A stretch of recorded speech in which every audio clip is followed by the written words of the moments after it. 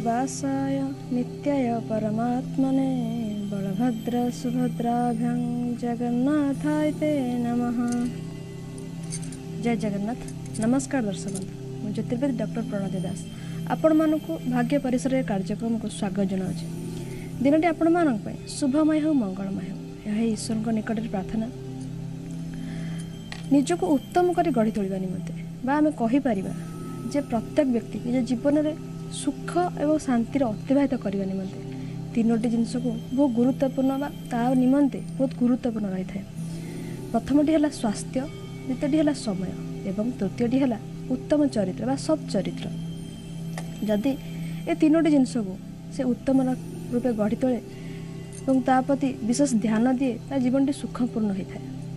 ପ୍ରଥମତଃ ଯଦି ସ୍ୱାସ୍ଥ୍ୟ ତା'ର ଉତ୍ତମ ରହିଲା ଯଦି ତାକୁ କୌଣସି ରୋଗ ବ୍ୟାଧି ନ ରହିଲା ତା ପାଇଁ ତା ସ୍ୱାସ୍ଥ୍ୟ ହେଉଛି ପ୍ରଥମ ସମ୍ପଦ। ତେବେ ତା ଜୀବନରେ ଦୁଃଖର ଅଧା ଭାଗ କମିଯାଇଥାଏ। ଯଦି ଜଣଙ୍କର ସବୁ ସମସ୍ୟାକୁ ସମାଧାନ କରିବା ନିମନ୍ତେ ତା'ର ସାହସ ରହିଛି ବୁଦ୍ଧି ରହିଛି ଏବଂ ତା ସହିତ କାର୍ଯ୍ୟ କରିବା ନିମନ୍ତେ ତା ଶରୀର ମଧ୍ୟ ସାଥ ଦେଉଛି ତେବେ ସେ କ୍ଷେତ୍ରରେ ତା ମନୋବଳ ବୃଦ୍ଧି ହୋଇଥାଏ। ଯେତେବେଳେ ଶରୀର ଆମକୁ ସାଥ ଦେଇଥାଏ କୌଣସି କାର୍ଯ୍ୟ କରିବା ନିମନ୍ତେ ସେତେବେଳେ ଆମକୁ ପ୍ରତିଟି ସମସ୍ୟାକୁ ସମାଧାନ କରିବା ନିମନ୍ତେ ମନୋବଳ ବୃଦ୍ଧି ହୋଇଥାଏ। ତେଣୁ ଈଶ୍ୱରଙ୍କ ପ୍ରଦତ୍ତ ସୃଷ୍ଟିରେ ସବୁ ସମ୍ପତ୍ତି ଯାହା ରହିଛି ସେଥିରୁ ସ୍ୱାସ୍ଥ୍ୟ ହିଁ ହେଉଛି ସବୁଠୁ ମୂଲ୍ୟବାନ ସମ୍ପତ୍ତି। ତେଣୁ ଯାହାର ସ୍ୱାସ୍ଥ୍ୟ ହିଁ ଉତ୍ତମ ରହିଛି ତେବେ ତା'ର ତା'ର ସବୁ ପ୍ରକାରର ସମସ୍ୟା ଦୂରୀଭୂତ ହୋଇଥାଏ। ସେହିଭଳି ସମୟ।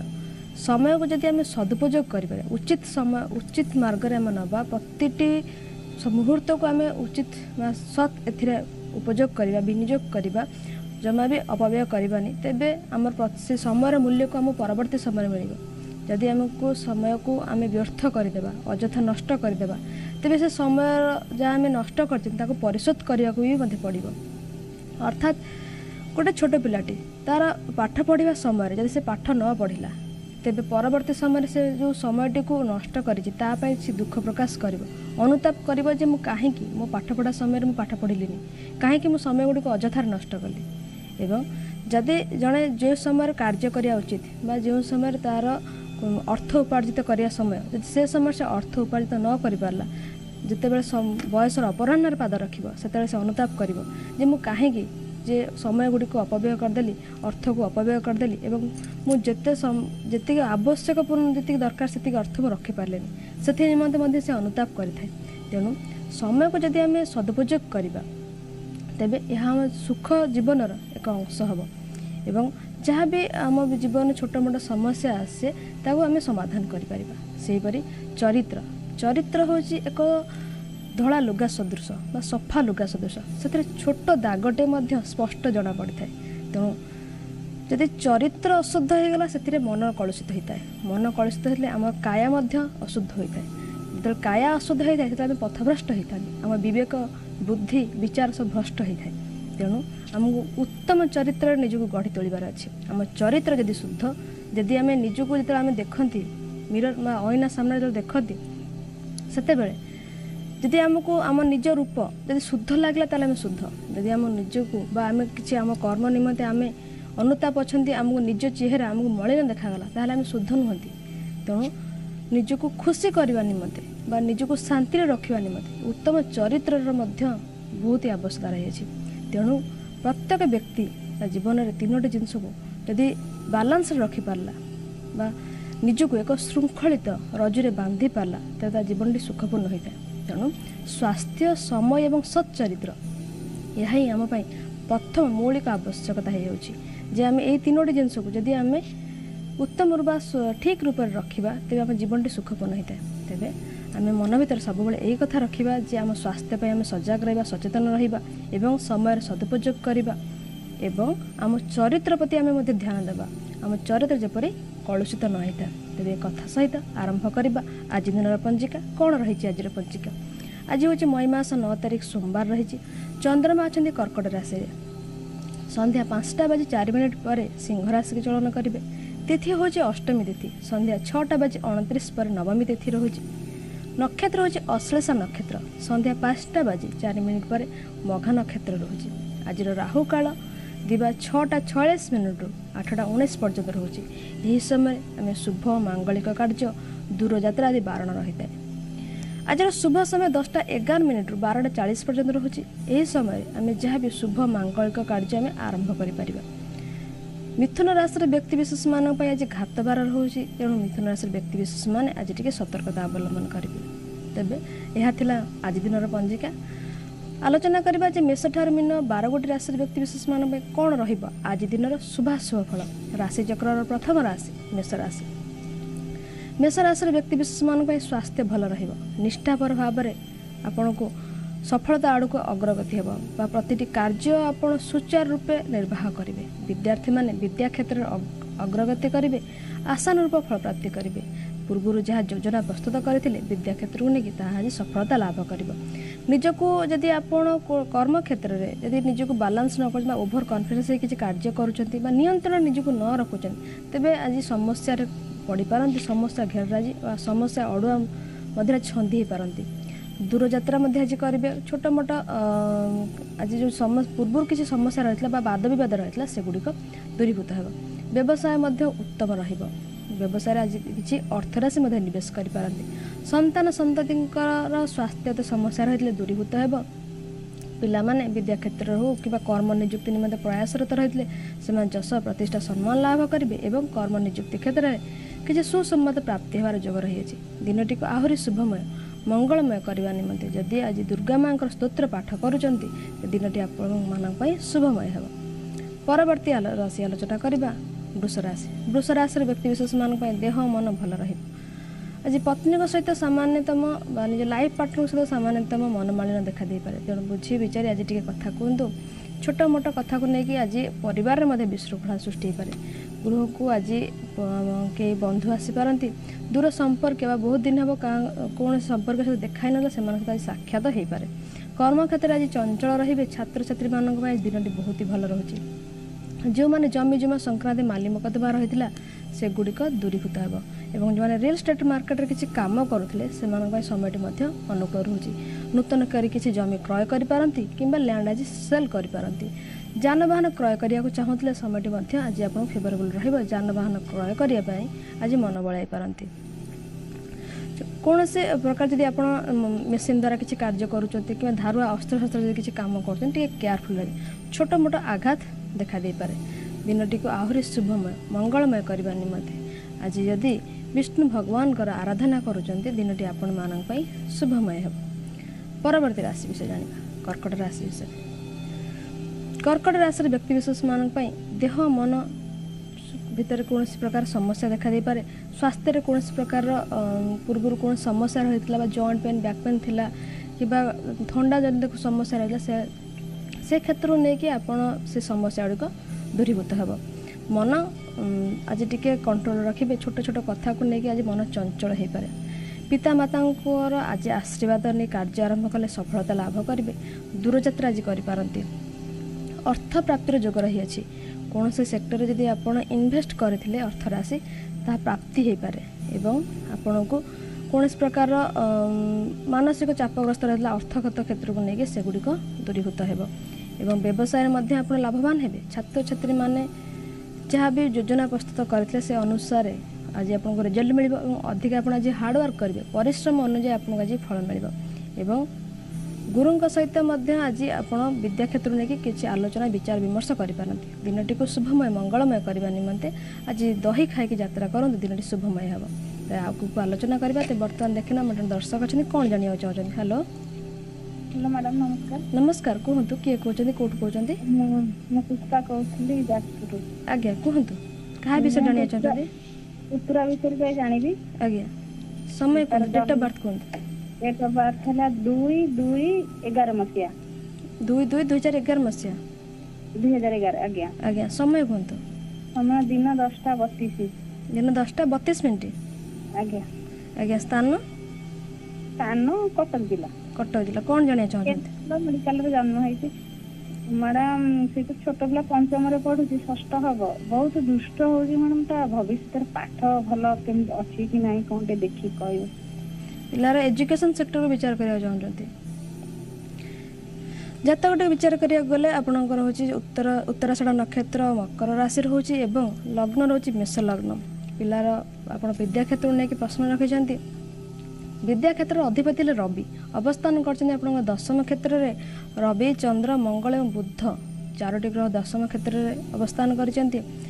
ପିଲା ପାଠ ନିଶ୍ଚିତ ରୂପେ ଭଲ ପଢ଼ିବ ଭବିଷ୍ୟତରେ ଯେହେତୁ ଦଶମ କ୍ଷେତ୍ରରେ ରବି ଅବସ୍ଥାନ କରୁଛନ୍ତି। ମଙ୍ଗଳ ମଧ୍ୟ ଉଚ୍ଚସ୍ଥ ଅଛନ୍ତି ଲଗ୍ନାଧିପତି। ଏବଂ ବର୍ତ୍ତମାନ ଦେଖିବାକୁ ଗଲେ ବର୍ତ୍ତମାନ ମଙ୍ଗଳ ମହାଦଶା ଚାଲିଛି। ଏକତିରିଶ ସାତ ଦୁଇ ହଜାର ଅଠେଇଶ ପର୍ଯ୍ୟନ୍ତ ରହୁଛି। ଏବଂ ମଙ୍ଗଳରେ ବର୍ତ୍ତମାନ ରାହୁ ଅନ୍ତର କରୁଛନ୍ତି ତେଣୁ ସେ ଅ, ରାହୁ ଅନ୍ତର ହେତୁ ପିଲାର ଟିକେ ମାନସିକ କ୍ଷେତ୍ରରେ ଚଞ୍ଚଳତା ରହୁଛି ବଦମାସ ହେଉଛି ଏବଂ ଉଁ, ଟିକେ ଚିଡ଼ିଚିଡ଼ା ଭାବ ବା କ୍ରୋଧ ପ୍ରକାଶ ପାଉଛି। ତେଣୁ ଜମା ବି ବ୍ୟସ୍ତ ହୁଅନ୍ତିନି ପିଲା ପାଞ୍ଚ ଏକ ଦୁଇହଜାର ତେଇଶ ପରେ ଦେଖିବେ ଧୀରେ ଧୀରେ ତା ମାନସିକ ସ୍ଥିତି ପରିବର୍ତ୍ତନ ହେବ। ଯେତେବେଳେ ମଙ୍ଗଳରେ ବୃହସ୍ପତି ଅନ୍ତର କରିବେ ସେ ସମୟରେ ପିଲା ଦେଖି ପାଠ ପଢ଼ା ପ୍ରତି ବିଶେଷ ଧ୍ୟାନ ଦେବ ଯେହେତୁ ମେଷ ରାଶି ବା ବେଶ ଲଗ୍ନ ମାନ ବ୍ୟକ୍ତିବିଶେଷମାନଙ୍କ ପାଇଁ ବୃହସ୍ପତି ଯେଉଁ ନବମାଧିପତି ଲଗ୍ନାଧିପତି ଯେତେବେଳେ ନବମାଧିପତି ଅନ୍ତର କରିବ ସେ ସମୟରେ ପିଲାଟି ପାଇଁ ବହୁତ ହି ଗୋଲ୍ଡେନ୍ ଚାନ୍ସ ରହୁଛି ବହୁତ ହି ସେ ଅଗ୍ରଗତି କରିବ। ତେଣୁ ଜମା ବି ବ୍ୟସ୍ତ ହୁଅନ୍ତୁ ବର୍ତ୍ତମାନ ଆପଣ ଯଦି ଅ, ରାହୁଙ୍କର ପ୍ରତିକାର କରୁଛନ୍ତି ରାହୁ ଯେହେତୁ ଭାଗ୍ୟ କ୍ଷେତ୍ରରେ ଅବସ୍ଥାନ କରିଛନ୍ତି ତେଣୁ ସେଥି ନିମନ୍ତେ ପିଲା ଟିକେ ମା- ସମସ୍ୟା ଦେଇ ଗତି କରୁଛି। ରାହୁଙ୍କର ପ୍ରତିକାର ସ୍ୱରୂପ ଆପଣ ଯଦି ବୁଲା କୁକୁର ଖାଇବାକୁ ଦେଉଛନ୍ତି କିମ୍ବା ଘରେ ସନ୍ଧ୍ୟା ସମୟରେ ରାଶି ତେଲର ଦୀପଟେ ଜାଳି ପିଲାକୁ କହିବେ କିଛି ସମୟ ବସିବ ଏବଂ ସେ ଦୀପ ଶିଖାକୁ ଚାହିଁକି ରହିବ ବା ପ୍ରାର୍ଥନା କରିବ ବା ଧ୍ୟାନ କରିବ। ତେଣୁ ତା ଦ୍ୱାରା ରାହୁଙ୍କର ପ୍ରଭାବ ଖଣ୍ଡିତ ହୋଇଥାଏ ଏବଂ ପିଲାର ମାନସିକ କ୍ଷେତ୍ର ବହୁତ ହି ଷ୍ଟ୍ରଙ୍ଗ ରହିଥାଏ। ଦେଖିବା ଆମର ଆଉ ଜଣେ ଦର୍ଶକ ଅଛନ୍ତି ସେ କ'ଣ ଜାଣିବାକୁ ଚାହୁଁଛନ୍ତି? ହ୍ୟାଲୋ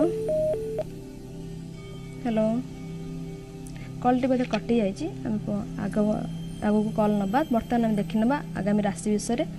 ପରବର୍ତ୍ତୀ ରାଶି ସିଂହ ରାଶି। ସିଂହ ରାଶିର ବ୍ୟକ୍ତିବିଶେଷମାନଙ୍କ ପାଇଁ ଦିନଟି ଆଜି ଆପଣମାନଙ୍କ ପାଇଁ ବହୁତ ହି ଭଲ ରହୁଛି। ସ୍ୱାସ୍ଥ୍ୟଗତ କ୍ଷେତ୍ରରେ ଥିବା ସମସ୍ୟା ଗୁଡ଼ିକ ଦୂରୀଭୂତ ହେବ। ମନ ପ୍ରସନ୍ନ ରହିବ। ଦେହ ମନ ଭଲ ରହିବ। କ୍ରୋଧକୁ ଆଜି ଯଦି ଆପଣ କଣ୍ଟ୍ରୋଲରେ ନ ରଖିବେ ତାହେଲେ ଆପଣ ଅସୁବିଧାରେ ପଡ଼ିବେ। ଯଦି ଆପଣ ରାଗିକି କିଛି ଡିସିସନ୍ ନେଉଛନ୍ତି ବା କାହାକୁ କିଛି କହିଦେଉଛନ୍ତି ଯାହାକି ଆପଣଙ୍କୁ ପରବର୍ତ୍ତୀ ସମୟରେ ଅନୁତାପ କରିବାକୁ ବାଧ୍ୟ କରିପାରେ। କୌଣସି ବସ୍ତୁ ଆଜି ଆପଣଙ୍କର ହଜିଯାଇପାରେ କିମ୍ବା କୌଣସି ଯଦି ଆପଣ କିଛି ପ୍ରୋଜେକ୍ଟରେ ହାତ ଦେଇଛନ୍ତି କିମ୍ବା କୌଣସି କାର୍ଯ୍ୟ ଆଜି ଆ- ଆରମ୍ଭ କରୁଛନ୍ତି ସେ କ୍ଷେତ୍ରରେ ଟିକେ ଛୋଟ ମୋଟ ସମସ୍ୟା ଦେଖା ଦେଇପାରେ। ତେଣୁ କେୟାରଫୁଲ୍ ରୁହନ୍ତୁ ଆଗ୍ରେସିଭ୍ ମାଇଣ୍ଡରେ କିଛି ବି କାର୍ଯ୍ୟ ନ କରିବାଟା ବହୁତ ହି ଭଲ ରହିବ।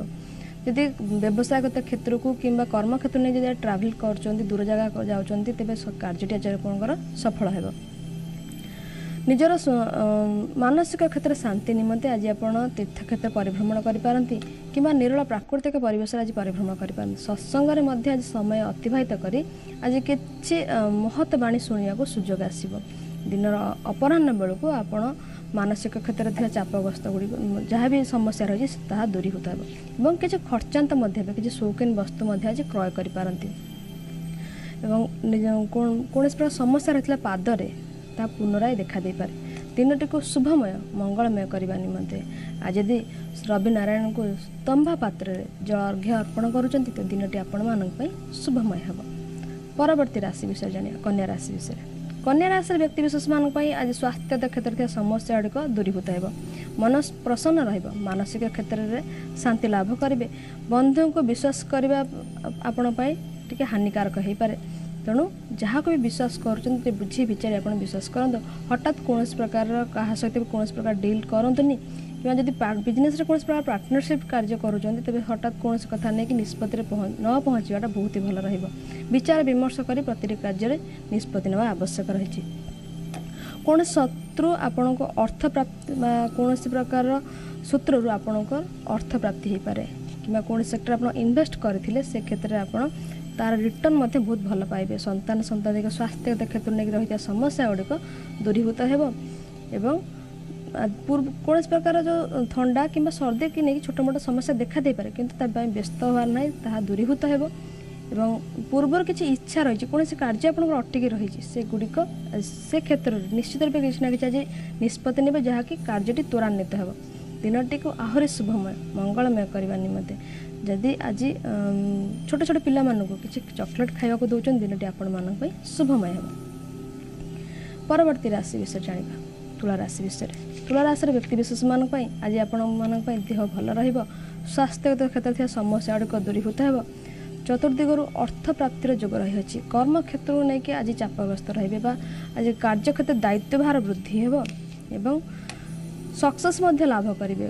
କୌ- ସୁଚାରୁ ରୂପେ ନିଜ କାର୍ଯ୍ୟକୁ ନିର୍ବାହ କରି ପ୍ରଶଂସା ମଧ୍ୟ ଲାଭ କରିବେ। କୌଣସି ଗ୍ରୁପ୍ କୌଣସି ମିଟିଂକୁ ମ୍ୟାନେଜ୍ କରିପାରନ୍ତି କିମ୍ବା ନୂତନ କରି କିଛି କାର୍ଯ୍ୟ ମଧ୍ୟ ଆରମ୍ଭ କରିପାରନ୍ତି। ଯେଉଁମାନେ କର୍ମ ନିଯୁକ୍ତି ନିମନ୍ତେ ପ୍ରୟାସରତ ରହିଥିଲେ ଦୀର୍ଘଦିନ ହେବ ସେମାନଙ୍କ ପାଇଁ ସମୟଟି ଅନୁକୂଳ ରହୁଛି କିଛି ସୁସମ୍ବାଦ ପ୍ରାପ୍ତି ହୋଇପାରନ୍ତି। ଘରକୁ ଆଜି କିଛି ମାଙ୍ଗଳିକ କାର୍ଯ୍ୟ ଆରମ୍ଭ ହୋଇପାରେ ଘରେ କିମ୍ବା କ୍ଷେତ୍ର ନେଇ କିଛି ପ୍ରସ୍ତାବ ମଧ୍ୟ ଆସିପାରେ। ଦିନଟିକୁ ଆହୁରି ଶୁଭମୟ ମଙ୍ଗଳମୟ କରିବା ନିମନ୍ତେ ଆଜି ଯଦି ଶିବ ଭଗବାନଙ୍କ ପାଖରେ ସୁଗନ୍ଧିତ ପୁଷ୍ପ ଅର୍ପଣ କରୁଛନ୍ତି ଦିନଟି ଆପଣମାନଙ୍କ ପାଇଁ ଶୁଭମୟ ହେବ। ପରବର୍ତ୍ତୀ ରାଶି ବିଛା ରାଶି। ବିଛା ରାଶିର ବ୍ୟକ୍ତିବିଶେଷମାନଙ୍କ ପାଇଁ ମନ ପ୍ରଫୁଲ୍ଲ ରହିବ ଦେହ ସୁସ୍ଥ ରହିବ ଶାରୀରିକ କ୍ଷେତ୍ରରେ ରହିଥିବା କ୍ଲେଶ ଗୁଡ଼ିକ ଦୂରୀଭୂତ ହେବ ଏବଂ ନ୍ୟୁଲି ରିଲେସନସିପ୍ କିଛି ଷ୍ଟାର୍ଟ ହୋଇପାରେ। ଆପଣଙ୍କର କୌଣସି ପ୍ରକାର ବିବାଦ ରହିଥିଲେ ରିଲେସନସିପ୍ ଭିତରେ ସେଗୁଡ଼ିକ ଦୂରୀଭୂତ ହେବ। କିନ୍ତୁ ଆପଣ ଆଜି ଅମ୍, ଯଦି ଆପଣ କୌଣସି ଅମ୍, ପୂର୍ବରୁ ରିଲେସନସିପ୍ରେ ଅଛନ୍ତି ତେବେ ରିଲେସନସିପ୍କୁ ପ୍ରପରଲି ମ୍ୟାନେଜ୍ କରନ୍ତୁ। ଛୋଟ ମୋଟ କ୍ଷେତ୍ରକୁ ନେଇକି ଆଜି ତିକ୍ତତା ମଧ୍ୟ ସୃଷ୍ଟି ହୋଇପାରେ। ତେଣୁ ଯେଉଁମାନେ ଅମ୍, ଟିକେ ଆଗ୍ରେସିଭ୍ ଅଛନ୍ତି ବା ରାଗି ଅଛନ୍ତି ସେମାନେ ନିଜର କଥା ନିଜ ବ୍ୟବହାର ପ୍ରତି ଟିକେ ସଂଯମତା ରକ୍ଷା କଲେ ବହୁତ ହି ଭଲ ରହିବ। ନହେଲେ ସମ୍ପର୍କରେ ଆଜି ଅଁ, ତିକ୍ତତା ସୃଷ୍ଟି ହୋଇପାରେ। ନବବିବାହିତଙ୍କ ପାଇଁ ଦିନଟି ଆଜି ବହୁତ ହି ଭଲ ରହୁଛି। ଛାତ୍ରଛାତ୍ରୀମାନେ ଆଜି କୃତକାର୍ଯ୍ୟ ଲାଭ କରିବେ। ଲକ୍ ଆପଣଙ୍କୁ ବହୁତ ହି ସପୋର୍ଟ କରିବ। ଯେଉଁମାନେ ଅ, ଦୀର୍ଘ ଦିନ ହେବ କାର୍ଯ୍ୟ କରିଛନ୍ତି କିଛି ଫଳ ପ୍ରାପ୍ତି ହେଇନି ସେମାନଙ୍କ ପାଇଁ ସମୟଟି ଆଜି ଅନୁକୂଳ ରହୁଛି। ସେ କ୍ଷେତ୍ର ନେଇ ତାଙ୍କୁ ଆଜି କିଛି ସୁସମ୍ବାଦ ପ୍ରାପ୍ତି ହେବାର ଯୋଗ ରହିଛି। ବିଛା ରାଶିର ବ୍ୟକ୍ତି ବିଶେଷମାନଙ୍କ ପାଇଁ ଯଦି ଅମ୍, ଆପଣ ଆଜି ବହୁତ କେୟାରଫୁଲ୍ ରହୁଛନ୍ତି ତେବେ ବହୁତ ଭଲ ରହିବ ବା ଡିସିସନ୍ ନେଲାବେଳେ ଟିକେ କେୟାରଫୁଲ୍ ଡିସିସନ୍ ନେବେ। ଦିନଟିକୁ ଆହୁରି ଶୁଭମୟ ମଙ୍ଗଳମୟ କରିବା ନିମନ୍ତେ ମା ବଗଳାମୁଖୀଙ୍କର ଆରାଧନା କରନ୍ତୁ ଦିନଟି ଆପଣମାନଙ୍କ ପାଇଁ ଶୁଭମୟ ହେବ। ତେବେ ବର୍ତ୍ତମାନ ଦେଖିନେବା ମୋର ଜଣେ ଦର୍ଶକ ଅଛନ୍ତି କ'ଣ ଜାଣିବାକୁ ଚାହୁଁଛନ୍ତି? ହ୍ୟାଲୋ ହ୍ୟାଲୋ ଜୟ ଜଗନ୍ନାଥ କୁହନ୍ତୁ। କିଏ କହୁଛନ୍ତି କେଉଁଠୁ କହୁଛନ୍ତି? ମୁଁ ଦିଲ୍ଲୀରୁ କହୁଛି କି କନକ କହୁଛି। ଆଜ୍ଞା କୁହନ୍ତୁ କାହା ବିଷୟରେ ଜାଣିବାକୁ ଚାହୁଁଛନ୍ତି? ତମ ସାହିଲ ଜଣେ ସେ ହିନ୍ଦୀରେ କ- ଯେ କଥାବାର୍ତ୍ତା ମାନେ ହିନ୍ଦୀ ଲୋକ ତ ସେ ଓଡ଼ିଆରେ କଥାବାର୍ତ୍ତା କରେ ତାଙ୍କ ପୁଅ ବିଷୟରେ ପଚାରୁଛି ଆଜ୍ଞା ହିନ୍ଦୀରେ କଥାବାର୍ତ୍ତା ହେବେ ମୁଁ ସେ ହିନ୍ଦୀ ଲୋକଟା ମୁଁ ତାଙ୍କ ପାଇଁ କହୁଛି ଓଡ଼ିଆରେ ଆଉ ଆଜ୍ଞା କୁହନ୍ତୁ ଚବିଶ ନଅ ଉଣେଇଶହ ଚଉରାନବେ ତାଙ୍କର ଚବିଶ ନଅ ଉଣେଇଶହ ଚଉରାନବେ ଉଁ, ଆଉ ରାତି ନଅଟା ତିରିଶ ରାତି ନଅଟା ତିରିଶ ତିରିଶ ସାଢ଼େ ହଁ ଆଜ୍ଞା କ'ଣ ଜାଣିବାକୁ ଚାହୁଁଛନ୍ତି ସେ ମାନେ ତାଙ୍କ ପୁଅ ଉଁ, ପାଠ ପଢି- ପ- ପଢିକି ଆଇଟା ଫିଟା କଲେ କିଛି ଚାକିରି ବାକିରି ହଉନି। ଆଉ ସେ ଗୋଟେ ଗୋଟେ ଲड़କି ଉଁ, ରେ ଫସି ଯାଇଛି କଣ କରୁଛି ତା ମା ଉପରକୁ ଚିଡଚିଡି ହଉଛି ଝଗଡ଼ା କରୁଛି।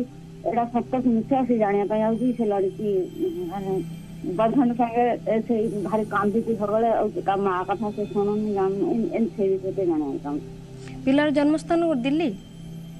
ନାଇଁ ବଲିଆ ଜିଲ୍ଲା। ବାଲ୍ୟା ଜିଲ୍ଲା। ଆଜ୍ଞା। ତେଣୁ ପିଲାର ଅ, ବର୍ତ୍ତମାନ ଷ୍ଟ- କ'ଣ ରହିଛି ସ୍ଥିତି ଅବସ୍ଥା ବିଷୟରେ ଜାଣିବାକୁ ଚାହୁଁଛନ୍ତି? ହୁଁ, ଗ୍ରହ କଣ ଅଛି ଏ ନା ଅଛି ସେ ଜାଣିବାକୁ ଚାହୁଁଛି ଆଜ୍ଞା। ପିଲାର ଜନ୍ମ ଜାତକକୁ ବିଚାର କରିବାକୁ ଗଲେ ପିଲାର ହେଉଛି ଅ, ବୃଷ କୃତିକା ନକ୍ଷତ୍ର ବୃଷ ରାଶି ରହିଛି ଏବଂ ଲଗ୍ନ ରହୁଛି ବୃଷ ଲଗ୍ନ। ପିଲାର ମନ ବହୁତ ଷ୍ଟ୍ରଙ୍ଗ ରହିଛି ଜମା ବି ଚିନ୍ତା କରନ୍ତୁନି ପିଲାର ମନୋବଳ ବହୁତ ବୃଦ୍ଧି ହେଇଛି। ଦଶା ମହାଦଶାକୁ ବିଚାର କରିବାକୁ ଗଲେ ପିଲାର ଟିକେ ସମୟ ଭଲ ନାହିଁ। ଯେହେତୁ ରାହୁ ମହାଦଶା ଚାଲିଛି ରାହୁ ମହାଦଶା ଦୁଇ ହଜାର ତେତିଶ ପର୍ଯ୍ୟନ୍ତ ରହିଥାଏ। ରାହୁ ମହାଦଶାରେ ସାଧାରଣତଃ ପିଲା ମାନସିକ କ୍ଷେତ୍ରରେ ଅସ୍ଥିର ରହିଥାଏ ମନ ଟିକେ ବିଚଳିତ ହୋଇଥାଏ ଏବଂ ପିଲା ଟିକେ ରା- କ୍ରୋଧୀ ସ୍ୱଭାବ ବା ଚିଚିଡ଼ା ସ୍ୱଭାବ ପ୍ରକାଶ ପାଇଥାଏ। ତେଣୁ ଜମା ବି ପିଲା ଉପରେ ବିରକ୍ତି ହୁଅନ୍ତୁନି। ପିଲାକୁ ଚେଷ୍ଟା କରନ୍ତୁ ପିଲା କିପରି ଶାନ୍ତ ରହିବ। କାରଣ ରାହୁ ମହାଦଶାରେ ପିଲା ଟିକେ ତାଙ୍କ ସ୍ୱଭାବ ପରିବର୍ତ୍ତନ ହୋଇଥାଏ ଏବଂ ପି- ଯେହେତୁ ରାହୁରେ ଆପଣଙ୍କର ଶନି ଅନ୍ତର କରୁଛନ୍ତି ଦୁଇ ହଜାର ତେତିଶ ତେଇଶ ପର୍ଯ୍ୟନ୍ତ ରହୁଛନ୍ତି ଅଣତିରିଶ ନଅ ଦୁଇ ହଜାର ତେଇଶ ପର୍ଯ୍ୟନ୍ତ ଅ, ରାହୁରେ ଶନି ଅନ୍ତର କରିବେ। ତେଣୁ ଏ ଯେଉଁ ଲା- ରାହୁଙ୍କ ପିରିୟଡ଼ଟି ରହୁଛି ଆପଣ ରାହୁଙ୍କର ପ୍ରତିକାର କରିବାର ବହୁତ ହି ଆବଶ୍ୟକତା ରହିଅଛି। ଯେହେତୁ ରାହୁ ଆପଣଙ୍କର ପିଲାର ଅ, ଉମ୍, ପଞ୍ଚମ ବା ପଞ୍ଚମ କ୍ଷେତ୍ରରେ ଅବସ୍ଥାନ କରୁଛି ତେଣୁ ଟିକେ ପିଲାର ପାଠ ପଢ଼ାପଢ଼ି ପ୍ର- ପ୍ରଭାବିତ ହେବ। ତାର କର୍ମ- କର୍ମ ନିଯୁକ୍ତି କ୍ଷେତ୍ରରେ ଏବଂ ପରିବାରରେ ମଧ୍ୟ ଛୋଟ ମୋଟ ସମସ୍ୟା ଦେଖାଦେଇପାରେ ବିଶେଷତଃ ଉମ୍, ମାଆଙ୍କ ସହିତ କୌଣସି ପ୍ରକାର ଆର୍ଗୁମେଣ୍ଟ ହେଇପାରେ ଯୁକ୍ତିତର୍କ ହେଇପାରେ ତେଣୁ ପିଲାର ଭବିଷ୍ୟତକୁ ଉଜ୍ଜଳମୟ କରିବା ନିମନ୍ତେ ବା ରାହୁଙ୍କର ପ୍ରତିକାର ରାହୁଙ୍କର ଯାହା ଦୁଷ୍ପ୍ରଭାବ ରହୁଛି ତାକୁ ଦୂରୀଭୂତ କରିବା ନିମନ୍ତେ ରାହୁଙ୍କର ପ୍ରତିକାର କରନ୍ତୁ। ପ୍ରତିକାର ସ୍ୱରୂପ ପିଲାକୁ କହିବେ ଏ, ବୁଲା କୁକୁର କିଛି ଖାଇବାକୁ ଦେବେ ଏବଂ ପାର- ମା ଯଦି ଅଶ୍ୱଗନ୍ଧା ବୃକ୍ଷକୁ ପୂଜା କରୁଛନ୍ତି ତେବେ ନିଶ୍ଚିତ ରୂପେ ପିଲା ନିମନ୍ତେ ବହୁତ ହି ଭଲ ରେଜଲ୍ଟ ଆଣିବ। ଏବଂ ଅ, ଯେତେବେଳେ ଆପଣ ବାହାରକୁ ଯାଉଛନ୍ତି ସେତେବେଳେ ପିଲା ପିଲାକୁ କହିବେ ଟିକେ ମସ୍ତକରେ ଶ୍ଵେତଚନ୍ଦ୍ର ଟୀକା ଲଗାଇବ। ଯାହାଫଳରେ ମାନସିକ କ୍ଷେତ୍ରରେ ଶାନ୍ତି ରହିବ ଏବଂ ବାହ୍ୟ ଶକ୍ତି ଯାହା ବାହ୍ୟ ଦୁଷ୍ପ୍ରଭାବ ଯାହା ରହୁଛି ବାହାରକୁ ଗଲାବେଳେ ଯାହା ବି ବ୍ୟାଡ୍ ଇମ୍ପାକ୍ଟ ରହୁଛି ସେଗୁଡ଼ିକ ଖଣ୍ଡିତ ହେବ। ତେବେ ଆମେ ପରବର୍ତ୍ତୀ ରାଶି ବିଷୟରେ ଆଲୋଚନା କରିବା। ପରବର୍ତ୍ତୀ ରାଶି ଧନୁ ରାଶି ଧନୁରାଶିର ବ୍ୟକ୍ତିବିଶେଷମାନଙ୍କ ପାଇଁ ଆଜି ଆପଣଙ୍କ ପାଇଁ ଉତ୍ତମ ଭୋଜନ ପ୍ରାପ୍ତିର ଯୋଗ ରହିଅଛି ଏବଂ ଖାଦ୍ୟରେ ଆପଣ ମଧ୍ୟ ଆପଣଙ୍କୁ ସୁ- ମିଷ୍ଟାନ୍ନ ପ୍ରାପ୍ତି ହେବ। ଯାହା ଆମ୍, ଆପଣ ଆଜି ଯଦି ପ- କିନ୍ତୁ ଆପଣ ଆଜି ନିଜର ସ୍ୱାସ୍ଥ୍ୟ ପ୍ରତି ମଧ୍ୟ ଟିକେ ସଜାଗ ରହିବେ। କୌଣସି ପ୍ରକାର ଖାଦ୍ୟର ସମସ୍ୟା ମଧ୍ୟ ସୃଷ୍ଟି ହୋଇପାରେ। ଆମ୍, ଏବଂ ଆମ୍, ପୂର୍ବରୁ କୌଣସି ଆପଣଙ୍କର ହେଲ୍ଥ ଇସ୍ୟୁ ରହିଥିଲା ସେଗୁଡ଼ିକ ଦୂରୀଭୂତ ହେବ। ଆଜି ନିଜର ମନପସନ୍ଦ ଦ୍ରବ୍ୟ କିଛି କିଣାକିଣି କରିପାରନ୍ତି। ପୂର୍ବରୁ କୌଣସି ଇଚ୍ଛା ରହିଥିଲା ବା ଦୀର୍ଘ ଦିନ ହେବ କୌଣସି ଦ୍ରବ୍ୟ କିଣିବାକୁ ମନ ଭିତରେ ଇଚ୍ଛା ରଖିଥିଲେ ସେ ଦ୍ରବ୍ୟ ଆପଣ ଆଜି କିଣିପାରନ୍ତି। ଦୂରଯାତ୍ରା କଲେ ଆଜି ଆପଣଙ୍କ ପାଇଁ ବହୁତ ହି ଭଲ ରହୁଛି। କିନ୍ତୁ ଆପଣଙ୍କୁ ଦେଖି ଚାହିଁ ଆଜି ଯାତ୍ରା କରିବାର ଅଛି। ଯେଉଁମାନେ ମେସିନ୍ ଦ୍ୱାରା କୌଣସି କାର୍ଯ୍ୟ କରୁଛନ୍ତି କିମ୍ବା କୌଣସି ପ୍ରକାରର ଯନ୍ତ୍ରପାତି ବା ବହୁତ ହାର୍ଡ଼ୱାର୍କ କରୁଛନ୍ତି ସେମାନେ ଟିକେ କେୟାରଫୁଲ୍ ରହିବେ ଏବଂ ଗୃହସ୍ଥୀମାନେ ମଧ୍ୟ ଅଗ୍ନି ପ୍ରତି ଟିକେ ସାବଧାନ ରହିବେ। ଦିନର ଶେଷାର୍ଧ ବେଳକୁ ଆପଣଙ୍କୁ କିଛି ସୁସମ୍ବାଦ ପ୍ରାପ୍ତି ହେବ। କର୍ମକ୍ଷେତ୍ରରେ ଆପଣଙ୍କୁ ଉଚ୍ଚ ପଦାଧିକାରୀଙ୍କ ଥ୍ରୋରେ କିଛି ନ୍ୟୁଜ୍ ମିଳିବ। ଏବଂ ନିଜର ଲାଇଫ୍ ପାର୍ଟନର ସହିତ ଉତ୍ତମ ବୁଝାମଣା ରହିବ ଏବଂ ମଧୁରପୂର୍ଣ୍ଣ ସମ୍ପର୍କ ଗଢ଼ି ଉଠିବ। ପରସ୍ପର ମଧ୍ୟରେ ଥିବା ତିକ୍ତତା ଭାବ ଗୁଡ଼ିକ ପ୍ରଶମିତ ହେବ। ବ୍ୟବସାୟରେ ମଧ୍ୟ ଆଜି ଆପଣ ଲାଭବାନ ହେବେ। ଅକସ୍ମାତ୍ କୌଣସି ଦ୍ରବ୍ୟ ଆପଣଙ୍କର ପ୍ରାପ୍ତି ହୋଇପାରେ। କର୍ମକ୍ଷେତ୍ରରେ କିଛି ଶିଖିବାର ମଧ୍ୟ ସୁଯୋଗ ଆସିବ। ପୂର୍ବରୁ ଯଦି ଆପଣ ସେୟାର ମାର୍କେଟରେ ଇନଭେଷ୍ଟ କରିଥିଲେ ତେବେ ସେ ସେ କ୍ଷେତ୍ରରେ ଆପଣଙ୍କୁ କିଛି ଭଲ ରେଜଲ୍ଟ ମିଳିବ। ଦିନଟିକୁ ଆହୁରି ଶୁଭମୟ ମଙ୍ଗଳମୟ କରିବା ନିମନ୍ତେ। ଆଜି ସ୍ନାନ ସାରି ଯଦି ଶହେ ଆଠ ଥର ଓମ୍ ବୃହସ୍ପତି ନୁହ ଏହି ମନ୍ତ୍ରକୁ ଜପ କରୁଛନ୍ତି ତେବେ ଆ, ଯାହା ବି ସମସ୍ୟା ରହୁଛି ସେଗୁଡ଼ିକ ଖଣ୍ଡିତ ହେବ। ପରବର୍ତ୍ତୀ ରାଶି ବିଷୟରେ ଆଲୋଚନା କରିବା ମକର ରାଶି। ମକର ରାଶିର ବ୍ୟକ୍ତିବିଶେଷମାନଙ୍କ ପାଇଁ ନିଜ ଲୋକ ଆପଣଙ୍କୁ ଆଜି ହଇରାଣ କରିପାରନ୍ତି ବିପଦରେ ପକାଇ ପାରନ୍ତି। ତେଣୁ ଟିକେ କେୟାରଫୁଲ୍ ରହିବେ। ହଠାତ୍ କାହା କଥାରେ ବା କାହା ପ୍ରରୋଚନାରେ ଆସି କୌଣସି ନିଷ୍ପତ୍ତି ନେବେନି କିମ୍ବା କୌଣସି କାର୍ଯ୍ୟ ନିମନ୍ତେ ଅଗ୍ରଗତି ହେବେନି। କର୍ମକ୍ଷେତ୍ର ଆଜି ଆପଣଙ୍କ ପାଇଁ ମଧ୍ୟମ ଧରଣ ଫଳ ପ୍ରାପ୍ତି ହେବ କାର୍ଯ୍ୟକ୍ଷେତ୍ରରେ କିଛି ନୂ- ଚାପ ବୃଦ୍ଧି ହୋଇପାରେ। ଶତ୍ରୁଙ୍କୁ ଆଜି ଦମନ କରିବାର କ୍ଷମତା ବା ଶତ୍ରୁ ଆପଣମାନଙ୍କ ପାଖରେ ଆଜି ପରାଜିତ ହେବେ କିନ୍ତୁ ଆପଣ ଦେଖି ଚାହିଁକି ନିଷ୍ପତ୍ତି ନେବା ବହୁତ ଜରୁରୀ ରହିଛି। ଈଶ୍ୱରଙ୍କ ପ୍ରତି ଆଜି ମନ ମଧ୍ୟରେ ଆସ୍ଥା ବଢ଼ିବ ବିଶ୍ୱାସ ବଢ଼ିବ ଦେ- ଦେବାଳୟ ତୀର୍ଥକ୍ଷେତ୍ର ପରିଭ୍ରମଣ କରିପାରନ୍ତି ଏବଂ ଅସହାୟ ଲୋକମାନଙ୍କୁ ସାହାଯ୍ୟ କରିବା ନିମନ୍ତେ ଆଜି ହାତ ବଢ଼ାଇବେ। ମାଲି ମକଦ୍ଦମା ରହିଥିଲେ ସେଥିରେ ବିଜୟ ଲାଭ କରିବେ। ବ୍ୟବସାୟରେ ମଧ୍ୟ ଆଜି ଆପଣ ଅ, ବହୁତ ହି ଭଲ ରେଜଲ୍ଟ କରିବେ। ନିଜର ଏକ୍ସଟ୍ରା କିଛି ବିଜନେସ୍ ଆରମ୍ଭ କରିପାରନ୍ତି କିମ୍ବା କିଛି ଅଧିକା ଇନଭେଷ୍ଟ କରିପାରନ୍ତି। ପ୍ରଚାର ପ୍ରସାର କ୍ଷେତ୍ରରେ ମଧ୍ୟ କିଛି ନିଷ୍ପତ୍ତି ନେବେ। ଦିନର ଶେଷାର୍ଧ ବେଳକୁ ଆପଣଙ୍କୁ ଟିକେ କେୟାରଫୁଲ୍ ରହିବାର ଅଛି। ଯାନବାହନ ଚଳିଲା ବେଳେ ଦୂରଯାତ୍ରା କଲାବେଳେ ଟିକେ ବହୁତ ସଜାଗ ସଚେତନ ରହିବେ ଏବଂ ଅର୍ଥରାଶି ଯଦି ଦିନର ଶେଷାର୍ଧ ବେଳକୁ ନିବେଶ କରୁଛନ୍ତି ବହୁତ କେୟାରଫୁଲ୍ ରହିବେ। ଦିନଟିକୁ ଆହୁରି ଶୁଭମୟ ମଙ୍ଗଳମୟ କରିବା ନିମନ୍ତେ। ଯଦି ଆଜି ହନୁମାନଙ୍କ ପାଖରେ ସିନ୍ଦୁର ଅର୍ପଣ କରୁଛନ୍ତି ଦିନଟି ଆପଣମାନଙ୍କ ପାଇଁ ବହୁତ ହି ଫେଭରେବଲ୍ ରହିବ। ପରବର୍ତ୍ତୀ ରାଶି ବିଷୟରେ ଜାଣିବା କୁମ୍ଭ ରାଶି ବିଷୟରେ। କୁମ୍ଭ ରାଶିର ବ୍ୟକ୍ତିବିଶେଷମାନଙ୍କ ପାଇଁ ଦିନଟି ଆଜି କୌଣସି କାରଣରୁ ମନ ଆଜି ଭାରାକ୍ରାନ୍ତ ହୋଇପାରେ ବା ମନ ଚାପଗ୍ରସ୍ତ ହୋଇପାରେ। କୌଣସି କାର୍ଯ୍ୟ ଯଦି ଆପଣଙ୍କର ବହୁତ ଦିନ ହେବ ଆପଣ ପ୍ରୟାସରତ ରହିছে ସେ କାର୍ଯ୍ୟକୁ ନେଇକି ଆଜି ମନ ଟିକେ ବ୍ୟସ୍ତ ବିବ୍ରତ ରହିବ। ତେଣୁ ମାନସିକ ଶାନ୍ତି ନିମନ୍ତେ ଆଜି ନିରୋଳା ପ୍ରାକୃତିକ ପରିବେଶରେ ବୁଲାବୁଲି କରିପାରନ୍ତି। ବ୍ୟବସାୟ ମଧ୍ୟ ଆପଣଙ୍କର ଆଶାନୁରୂପ ଫଳପ୍ରାପ୍ତି ହେବ ଲାଭବାନ ହେବେ। ପାରିବାରିକ କଳହରୁ ମୁକ୍ତି ଲାଭ କରିବେ ବା କୌଣସି ପରିବାରରେ ବିଶୃଙ୍ଖଳା ରହିଥିଲା ଛୋଟ ମୋଟ ଯୁକ୍ତିତର୍କ ତିକ୍ତତା ଭାବ ରହିଥିଲା ସେଗୁଡ଼ିକ ଦୂରୀଭୂତ ହେବ। ଏବଂ ଉମ୍, ଯାହା ଆ, ପୂର୍ବରୁ କିଛି ନିଷ୍ପତ୍ତି ନେଇଥିଲେ ଯାହାକି ଆପଣ ଭାବିଛନ୍ତି କିଛି କରିବା ପାଇଁ ସେ କ୍ଷେତ୍ରରେ ମଧ୍ୟ କିଛି ଅଗ୍ରଗତି କରିବେ। ବିଦ୍ୟାର୍ଥୀମାନେ ବିଦ୍ୟା କ୍ଷେତ୍ରରେ ମଧ୍ୟ ଆଶାନୁରୂପ ଫଳପ୍ରାପ୍ତି କରିବେ। ଉମ୍, ଯା- ଯେଉଁମାନେ କମ୍ପିଟେଟିଭ୍ ଲାଇନ୍ରେ ପ୍ରିପାରେସନ୍ କରୁଥିଲେ ସେମାନଙ୍କ ପାଇଁ ଦିନଟି ଆଜି ବହୁତ ହି ଭଲ ରହୁଛି। ସେ କ୍ଷେତ୍ରରେ ତାଙ୍କୁ କିଛି ସୁସମ୍ବାଦ ପ୍ରାପ୍ତି ହୋଇପାରେ। ଲୋନ୍ କରିବାକୁ ଚାହୁଁଥିଲେ ବା ଲୋନ୍ କରି କିଛି କାର୍ଯ୍ୟ ଆରମ୍ଭ କରିବାକୁ ଚାହୁଁଥିଲେ କିଛି ସମସ୍ୟା ରହିଥିଲା ସେଗୁଡ଼ିକ ଦୂରୀଭୂତ ହେବ। ଶତ୍ରୁମାନେ ମଧ୍ୟ ପରାଜିତ ହେବେ। ଆପଣଙ୍କୁ ଦିନର ଶେଷାର୍ଧ ବେଳକୁ କିଛି ସୁସମ୍ବାଦ ପ୍ରାପ୍ତି ହୋଇପାରେ। ଲାଇଫ୍ ପାର୍ଟନର ଥ୍ରୋରେ ଆପଣଙ୍କୁ କିଛି ଗୁଡ୍ ନ୍ୟୁଜ୍ ମିଳିପାରେ। ଦିନଟିକୁ ଆହୁରି ଶୁଭମୟ ମଙ୍ଗଳମୟ କରିବା ନିମନ୍ତେ। ଆଜି ଅସହାୟ ଲୋକମାନଙ୍କୁ ଯଦି କିଛି ବସ୍ତ୍ର ବା କଳା ରଙ୍ଗର ବସ୍ତ୍ର ଧାରଣ କରୁଛନ୍ତି ଦିନଟି ଆପଣମାନଙ୍କ ପାଇଁ ବହୁତ ଭଲ ରହିବ। ରାଶିଚକ୍ରର ଅନ୍ତିମ ରାଶି ମୀନ ରାଶି ବିଷୟରେ ଜାଣିବା। ମୀନ ରାଶିର ବ୍ୟକ୍ତିବିଶେଷମାନଙ୍କ ପାଇଁ ଆଜି କିଛି ମନ ଲାଖି ସୁନ୍ଦର ଦ୍ରବ୍ୟ କ୍ରୟ କରିପାରନ୍ତି। ଦେହ ମନ ଭଲ ରହିବ। ସ୍ୱାସ୍ଥ୍ୟଗତ କ୍ଷେତ୍ରରେ ସମସ୍ୟା ଗୁଡ଼ିକ ଦୂରୀଭୂତ ହେବା ସହିତ ସ୍ୱାସ୍ଥ୍ୟରେ ଉନ୍ନତି ପରିଲକ୍ଷିତ ହେବ। ପରିବାରରେ ହସ ଖୁସିର ଆସର ଜମିବ। ଶତ୍ରୁମାନେ ଆଜି ଟିକେ ସମସ୍ୟା ସୃଷ୍ଟି କରିପାରନ୍ତି କିନ୍ତୁ ଆପଣ ବୁଦ୍ଧିମତା କୌଶଳରେ ସମସ୍ତ ସମସ୍ୟାକୁ ସମାଧାନ କରିବାକୁ ସକ୍ଷମ ହେବେ। ସୁନାମ ଅର୍ଜନ କରି ଆଜି ସମ୍ମାନ ଲାଭ କରିବେ ପୁରସ୍କାର ପ୍ରାପ୍ତି ହେବାର ଯୋଗ ରହିଅଛି ଏବଂ ସାମାଜିକରେ କିଛି ଉନ୍ନତିମୂଳକ କାର୍ଯ୍ୟ ମଧ୍ୟ କରିପାରନ୍ତି।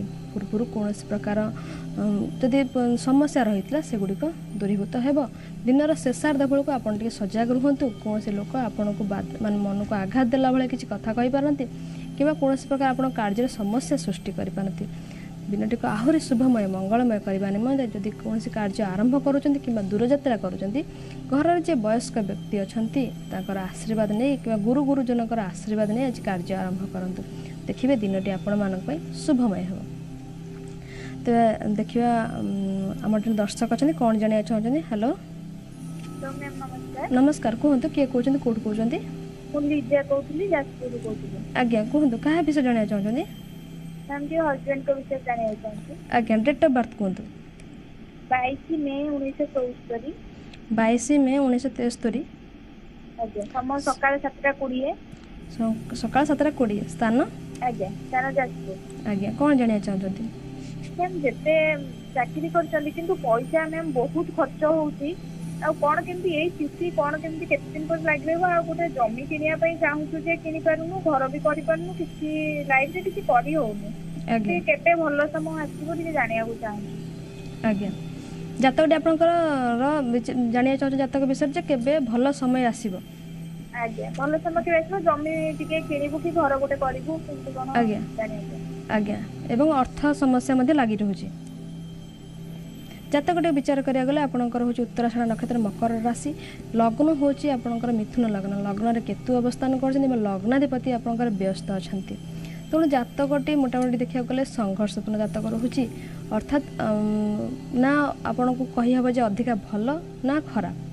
ଯେହେତୁ ଲଗ୍ନରେ କେତୁ ରହୁଛନ୍ତି ଏବଂ ସପ୍ତମ ଭାବ ରାହୁ ରହୁଛନ୍ତି ଏବଂ ଲଗ୍ନାଧିପତି ବ୍ୟସ୍ତ ଅଛନ୍ତି ତେଣୁ ଜାତକଟି ନିଶ୍ଚିତ ରୂପେ ପ୍ରଭାବିତ ଅଛି ଅର୍ଥାତ୍ ଆପଣ ମାନସିକ କ୍ଷେତ୍ରରେ ଟିକେ ଉମ୍, ଅଧିକା ଉମ୍, ମାନେ ଭାବନାଶୀଳ କୌଣସି କ- ଛୋଟ ମୋଟ କଥା ହେଲା ତେବେ ଅଧିକା ତା ବିଷୟରେ ଭାବିବେ ଏବଂ ଯେହେତୁ ଲଗ୍ନାଧିପତି ଦ୍ୱାଦଶ କ୍ଷେତ୍ରରେ ଅଛନ୍ତି ତେଣୁ ଅ, ଏବଂ ଦ୍ୱିତୀୟାଧିପତି ମଧ୍ୟ ଆପଣଙ୍କର ଯେହେତୁ ଅ, ଅବସ୍ଥାନ କରୁଛନ୍ତି ନବମ କ୍ଷେତ୍ରରେ ତେଣୁ ଧାର୍ମିକ ଚିନ୍ତା ଚେତନାରେ ରହିବେ ଏବଂ ଅର୍ଥରାଶି ମଧ୍ୟ କିଛି ବ୍ୟୟ ମଧ୍ୟ ହେବ ତେଣୁ ବିଚାର କରିବାକୁ ଗଲେ ଆପଣ ଦଶା ମହାଦଶା ବୃହସ୍ପତି ମହାଦଶା ଚାଲିଛି ବାଧକାଧିପତି ଚାଲିଛି। ତେଣୁ ବର୍ତ୍ତମାନ ସମୟରେ ଆପଣଙ୍କୁ ବହୁତ ସମସ୍ୟା ଦେଇ ଗତି କରିବାକୁ ପଡ଼ିବ।